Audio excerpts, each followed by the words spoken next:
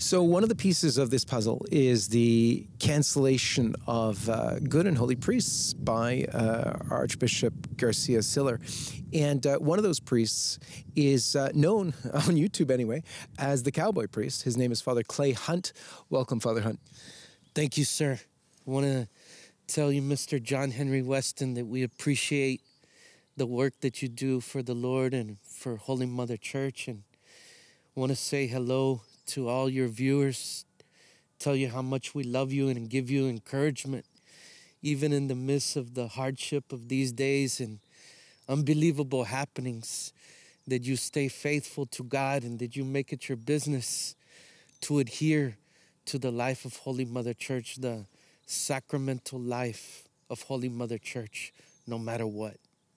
Amen to that.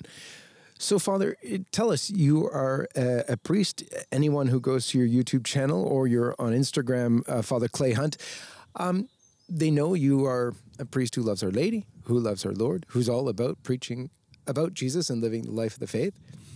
Why were you canceled?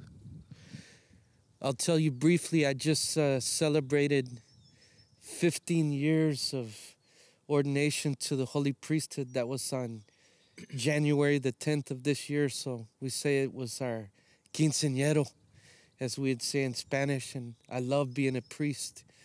And we recognize that the priesthood is most essentially, uh, it's the oneness uh, with our Lord Jesus Christ, the priest, the high priest, the only priest. And in the mystery of it, it's, it's the passion. Uh, so we're not uh, disillusioned by these bad happenings, even though uh, it's it's true that they are somewhat unbelievable how things have come to be. And I would like to say, uh, uh, as regards to my individual person, I don't want to get into a he said, she said, no pun intended. But there are many injustices that are taking place in the world today in the in the church. And that's why i believe the most critical thing is for you the people of god to be able to as a whole reach a threshold of understanding that as in my opinion saint archbishop fulton sheen would say uh, that you may rise up people of God to put the house of God in order. That's what I pray for daily and desire because I don't believe there is any other way uh, for the vindication of the church in the natural order but through the laity.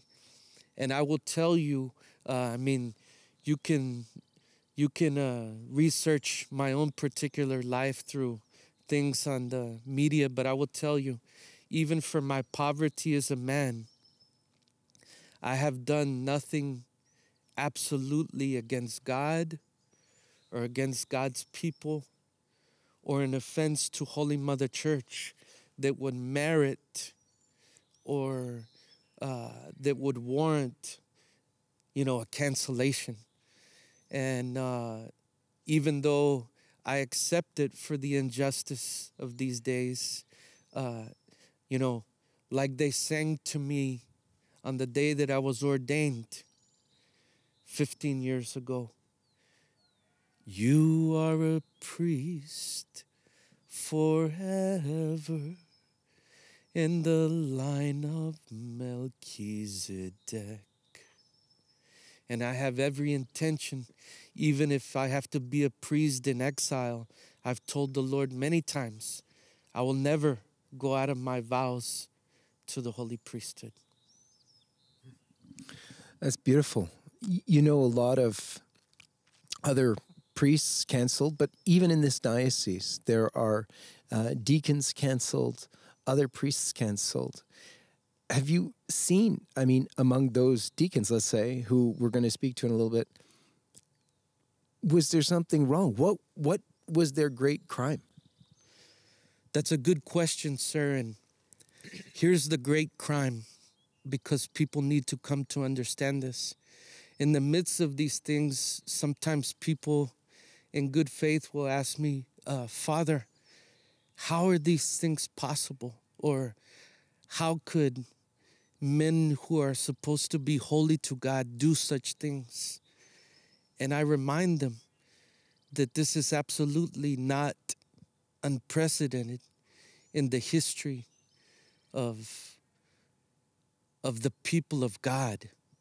And we go back to the covenant of Moses and the religious leaders, authentic religious leaders to God's people in the covenant to Moses were the high priests, the Pharisees. And I remind people that there was a great tradition of holy Pharisees, you know, men who, as we say and as we recognize, even for our natural poverty, the grace of God is sufficient that even in fact men can be holy, and there were holy men. Even in the time of our Lord, although they were few in number, there were a handful of them. We remember those accounted to in the sacred scriptures, like Joseph of Arimathea or Nicodemus or Saul of Tarsus. They were holy men. Uh, but the majority of them, and the vast majority of them, were seduced and freely given themselves into greed, lust, power, envy. And that is precisely what drove them to be in the first degree responsible for the death of our Lord Jesus Christ. So they were the ones. You know, I I never I I knew it, but I never deeply understood it that throughout the entire scripture, even in these days, uh, throughout the entire gospel, even in these days of recent, how many times were the the Pharisees explicitly against our Lord Jesus Christ? How many times was he trying to hide from them in order, not because he was afraid, absolutely, but because he knew their wicked intention? And that's that's the number one problem that we're dealing with in our time. I like to call them the modern day Pharisees. And although they are authentically in that place it's the same spirit that possessed to those men in the time of our Lord Jesus Christ.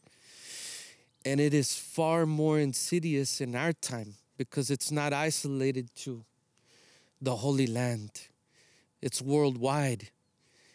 And it's surpassing in insidiousness to the times of old. That's why I call these guys of the modern era the, the Pharisees on steroids.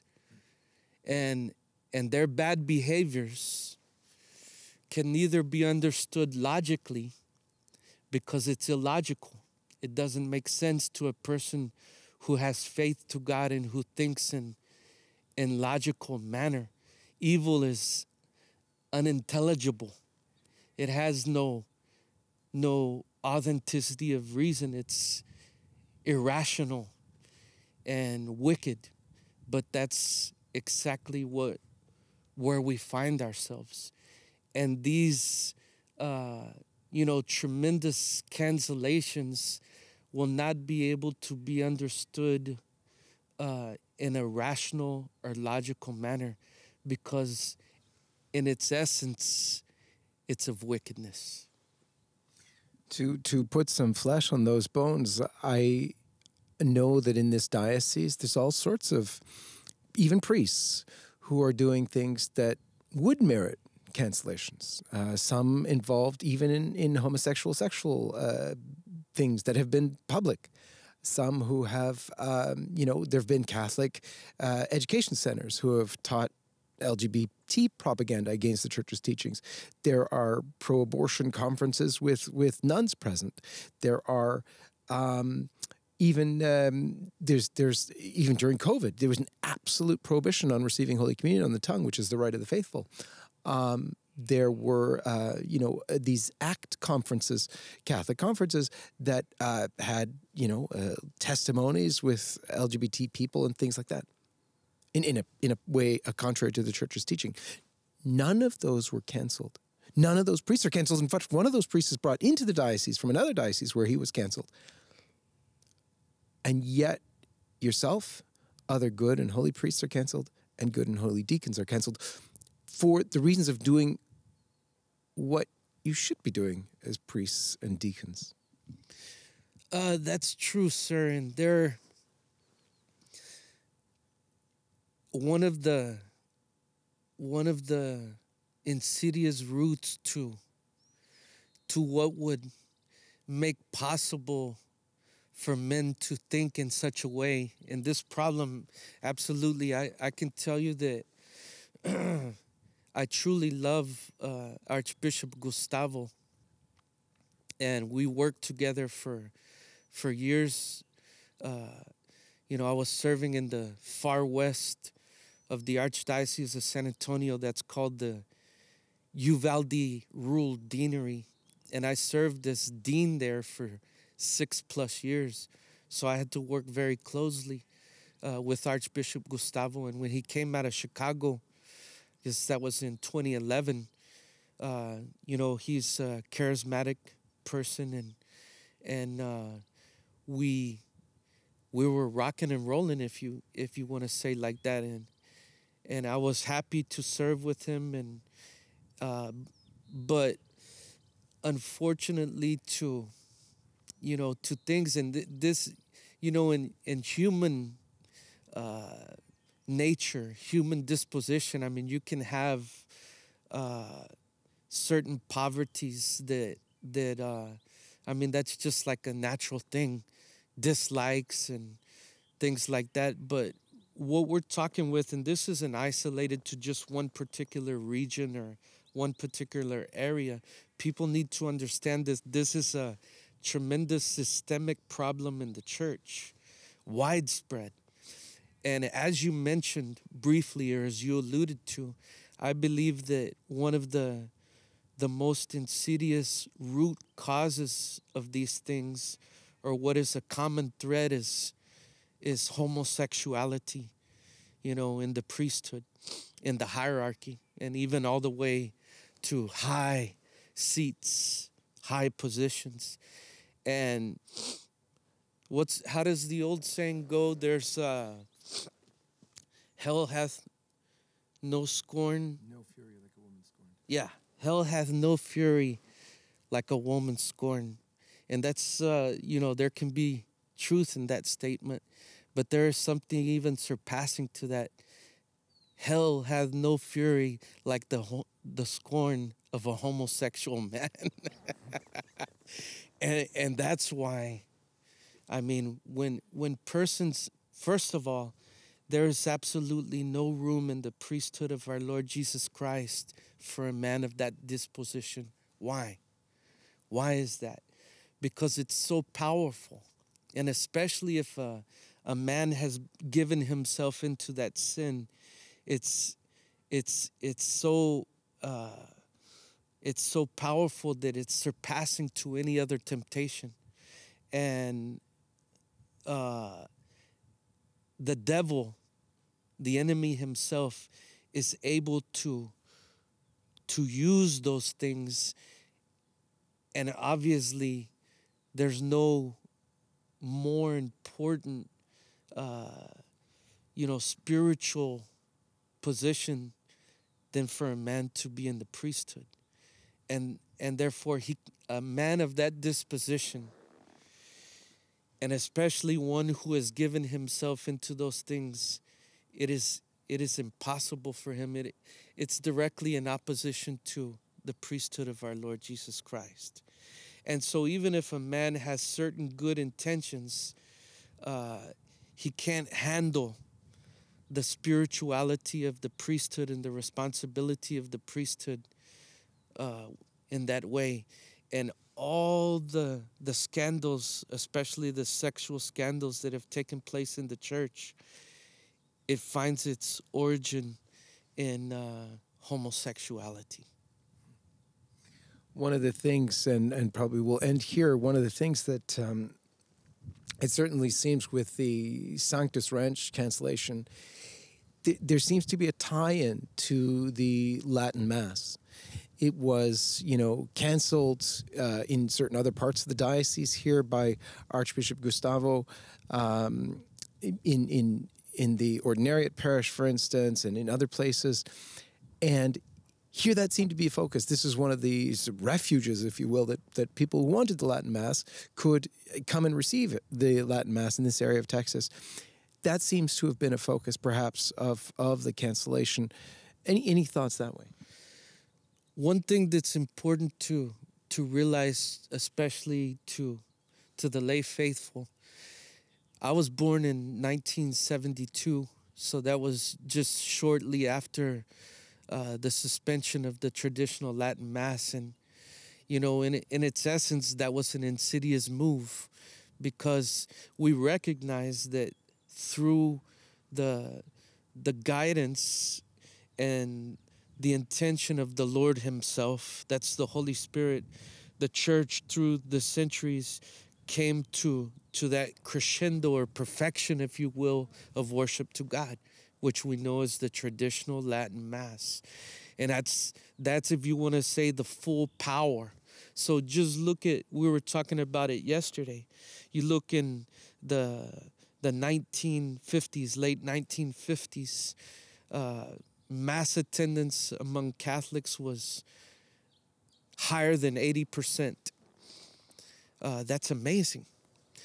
And just a brief few decades, after the cancellation, if you will, of the traditional Latin Mass, the Novus Ordo, in which I grew up in, it's not the bad intentions of persons, but it's the neglect of the things to God that result in in our to to our tremendous detriment that now only the statistic is 8% of Catholics go to the Sunday Mass weekly. I mean, that's that's indicative that there's a tremendous problem. And so these movements, which is again systemic in the universal church to cancel the traditional Latin Mass in its origin is demonic. And and and and that manifests itself in however it plays out throughout the world, but the the one who truly desires and the only reason is because in fact it is the fullness of worship and holiness to God. The one who desires the cancellation of the traditional Latin Mass is the enemy himself. And then either in full cooperation or unknowing cooperation is being played out all over the world. What keeps you going, Father, despite being canceled? I believe in God. Amen. Father Clay Hunt, thank you so much. Thank you, sir. God bless you.